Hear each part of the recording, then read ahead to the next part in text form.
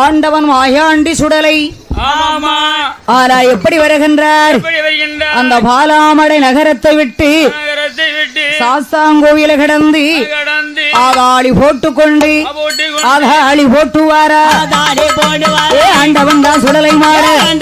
சுடலை அங்கும் இங்கும் ஓடுவாரா? அங்கும் ஒத்த கையில் பிடித்து ஒத்த ஓடி வாரான் சுடலை மாறு. ஓடி வார சுடலை மாறு. நல்ல குதிரையில்